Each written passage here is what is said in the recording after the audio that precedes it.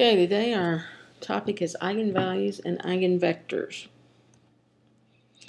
The equation that we're interested in when uh, trying to find eigenvalues and eigenvectors is this one, ax equals lambda times x. Here A is an n by n matrix, x is a vector in Rn, and lambda is a scalar. So we're essentially asking um, can you find x and lambda? We know we don't know either of those, but can you find x and lambda such that when you multiply a times x, you get the same result as simply scaling x by lambda.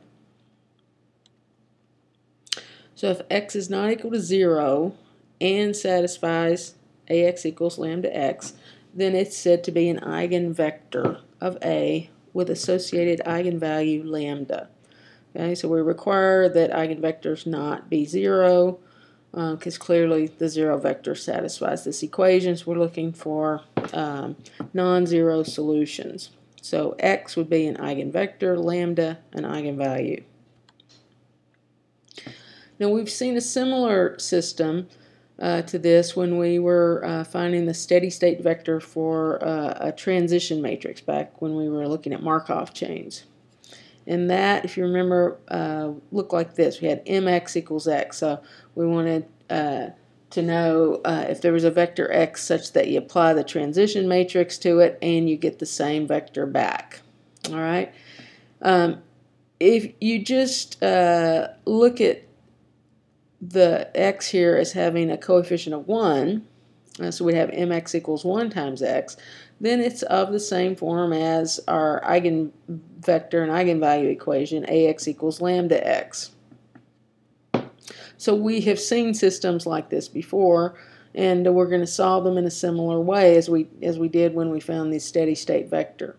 So if you remember what we did then, we took the x over to the other side and factored it out, and we ended up with m minus i times x equals 0, um, and that was the equation to solve to find the steady state vector.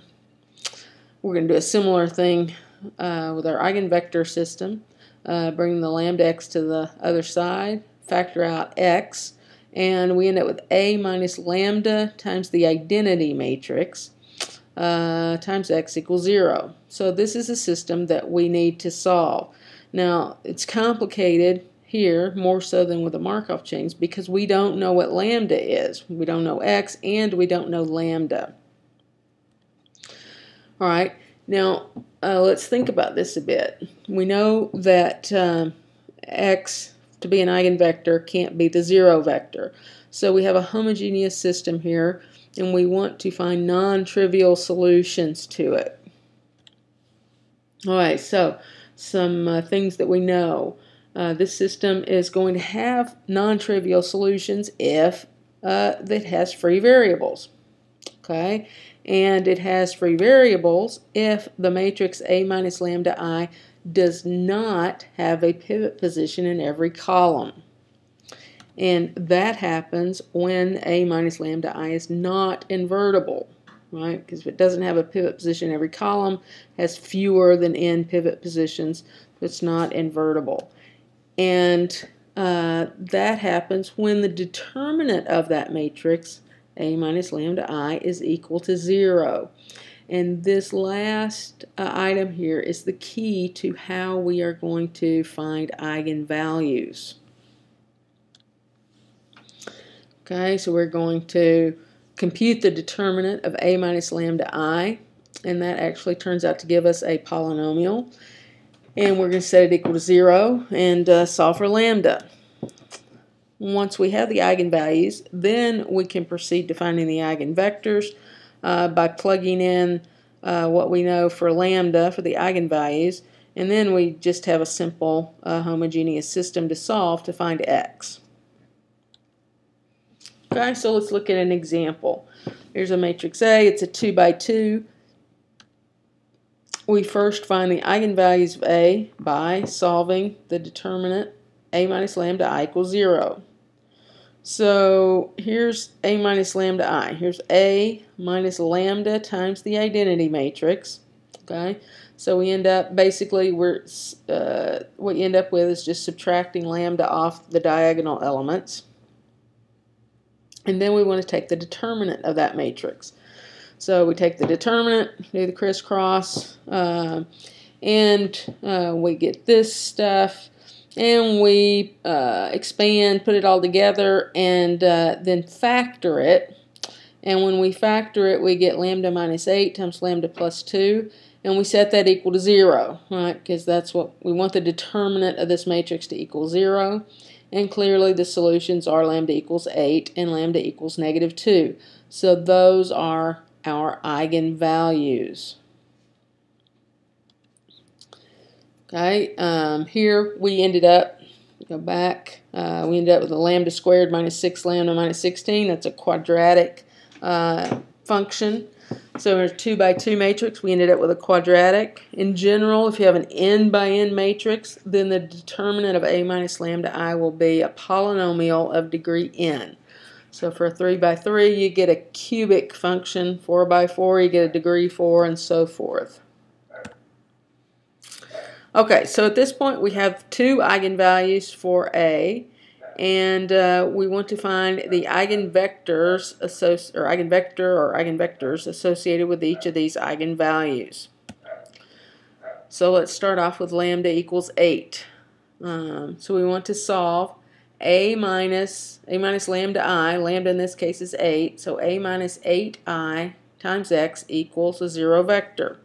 So first we need to compute a minus 8i, and there it is and then we set up that homogeneous system.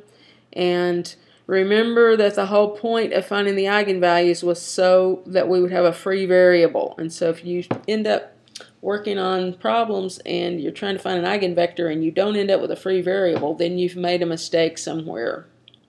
Either you don't have a correct eigenvalue or you, you made a mistake in solving this system. Um, so you should always end up with um, at least one free variable so that the system has non-trivial solutions. So in this case, uh, we end up with x1 equals uh, 3x2. x2 is free. So if we write it in parametric vector form, it looks like this. And uh, so that tells us that any multiple, right, any vector of this form, multiple of 3, 1, is an eigenvector of A corresponding to lambda equals 8. You can check that to, to make sure it works. AX should equal lambda x. So if we multiply A times x, here's A, here's x, we end up with the vector 24, 8.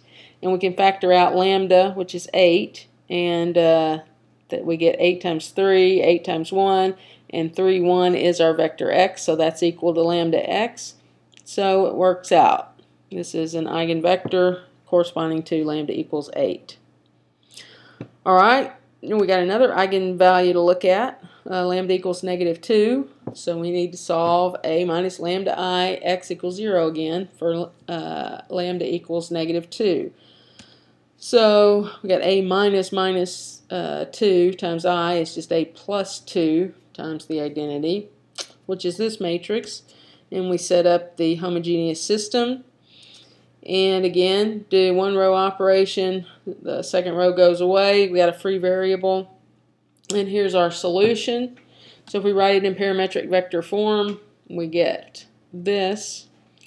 And uh, so that tells us that any multiple of the vector negative one-third 1 is an eigenvector of A corresponding to the eigenvalue negative 2. So, um, and you can check again like we did last time multiply a times x, you get 2, negative 6, and that is equal to negative 2 times negative 1, 3, which was the eigen uh, vector that I picked. Um, you, you might be saying, hey, that didn't look like uh, this one that we got here. And it doesn't because uh, I just multiplied, I scaled it. Because remember, any multiple of this vector is an eigenvector. So I just uh, chose x2 to be 3 and uh, scaled it. And so uh, 3 times negative 1 third gave me the negative 1, and then 3 times 1 gave me 3. And I did that just to get rid of the fraction there. But any multiple, any non-zero multiple, I should say, any non-zero multiple of this vector would be an eigenvector uh, corresponding to lambda equals negative 2. All right. Um, so given an eigenvalue lambda of a matrix A, we solve this homogeneous system, A minus lambda I times x equals 0, to find the associated eigenvector or eigenvectors. All right, now a little bit of terminology here. Think back um, to uh, the previous chapter. We talked about the null space of a matrix. And uh, remember, the null space of a matrix is just the set of solutions uh, to the homogeneous system involving that matrix. And so, if you look at this uh, system we were solving to find the eigenvectors, you can see it's a homogeneous system. So, the set of solutions uh, to this will be um, elements of the null space, or actually will comprise the null space of A minus lambda I and uh, we give that space, since it's associated with finding eigenvectors, we give it a special name and call it the eigenspace of A.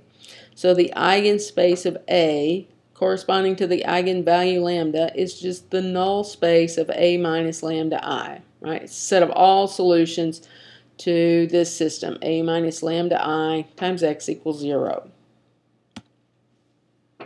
So the eigenspace of A corresponding to lambda consists of the zero vector, right, because that's in every null space, and uh, all eigenvectors of A minus lambda I. Therefore, a basis for the eigenspace of A corresponding to lambda is the same as a basis for the null space of A minus lambda I. Okay, let's look at another example. Uh, let's find all the eigenvalues and eigenvectors of this matrix A. So we start off uh, to find the eigenvalues. Um, take the determinant of A minus lambda I. And uh, here it gets a little complicated because we've got a 3 by 3, so we have to expand about uh, one of the rows or columns. I expanded about the first column and so we get negative 4 minus lambda times the determinant of this 2 by 2 matrix here. So that's what you see right here. Then it's, uh, since this is a plus position, next be minus, so that's where the minus 6 comes from. And then it's the matrix that you get when you delete that second row in the first column. So we get this. And then uh, it's a minus term, so the next one's plus. So I get plus 6 times uh, this little 2 by 2 sitting up here in the uh, upper right corner. And uh, then it's just algebra. You know, take these 2 by 2 determinants, do some algebra. Oops. Uh, there we go. Um, and we end up uh, with this cubic function, which makes sense because 3 by 3 matrix. And uh, it, we end up being able to um, rewrite it like this, negative lambda times lambda minus 2 squared equals 0. And so clearly uh, lambda equals 0 is a solution and lambda equals 2 is a solution. Now in this case, since it's uh, lambda minus 2 squared, uh, the eigenvalue 2 actually occurs twice because it's a solution twice here.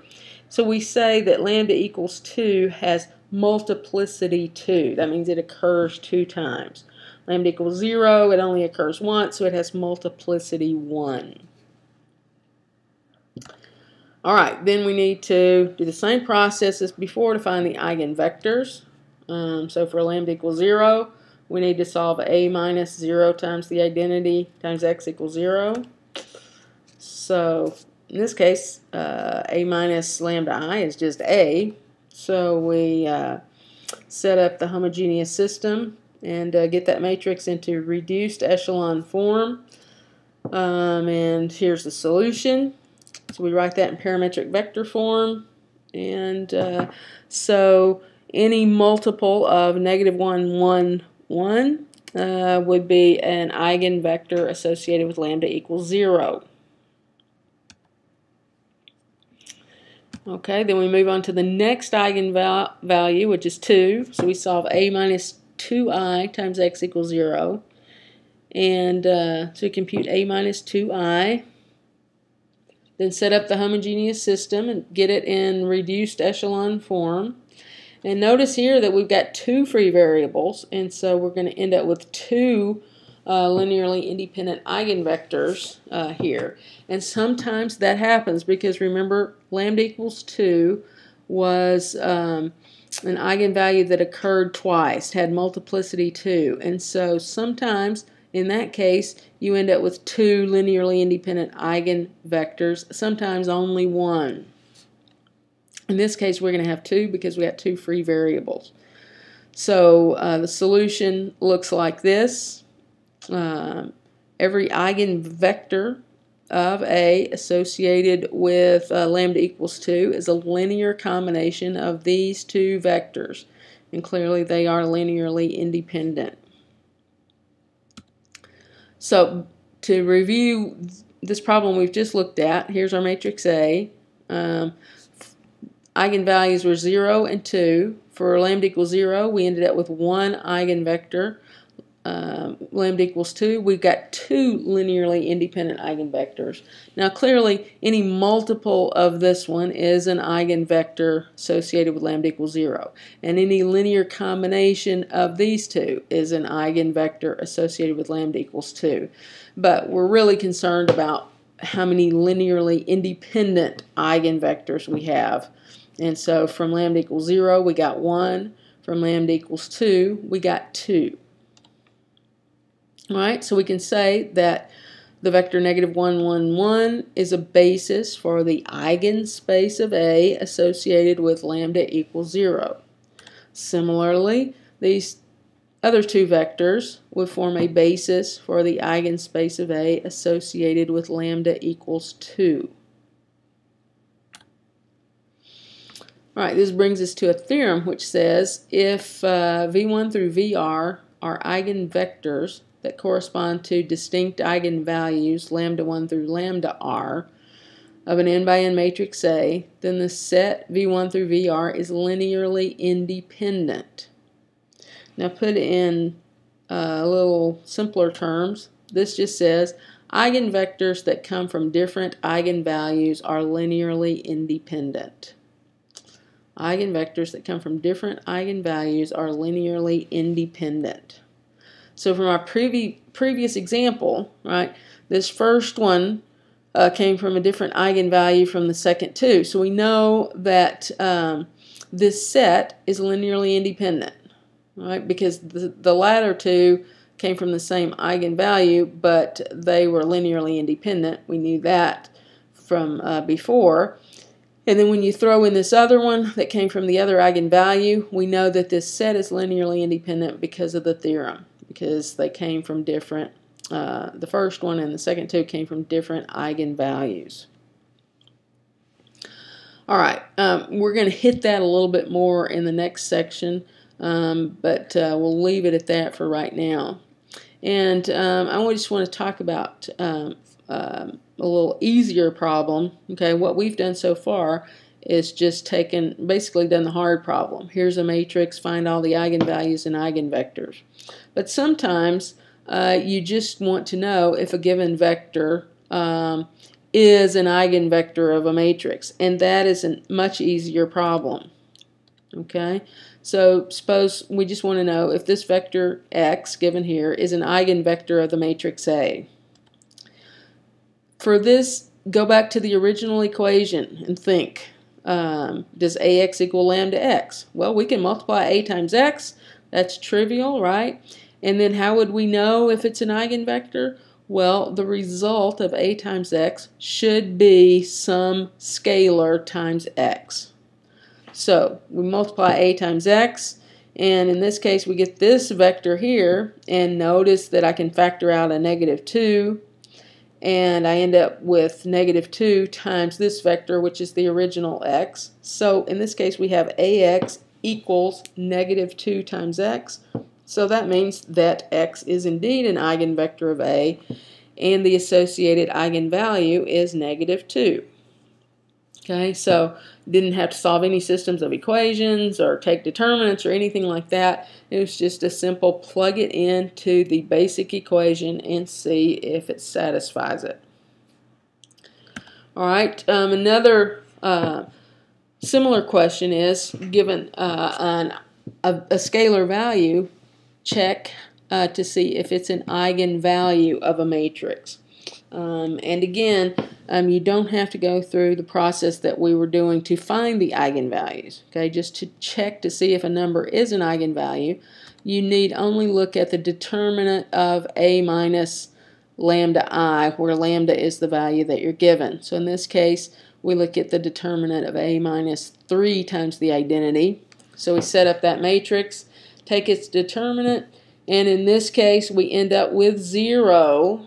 And so the determinant of a minus 3i is equal to 0. That tells us that 3 is indeed an eigenvalue of a. If we didn't get 0, then it wouldn't be an eigenvalue. Okay, a little more terminology.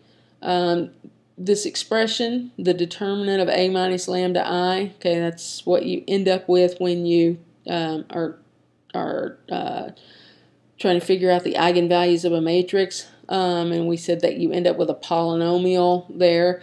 It's called the characteristic polynomial of A. And when you set it equal to 0, then we call it the characteristic equation of A. So the characteristic polynomial is just what you get when you take the determinant and then you set that equal to 0 and we call that the, the characteristic equation. Okay, we have now the final installment of the invertible matrix theorem.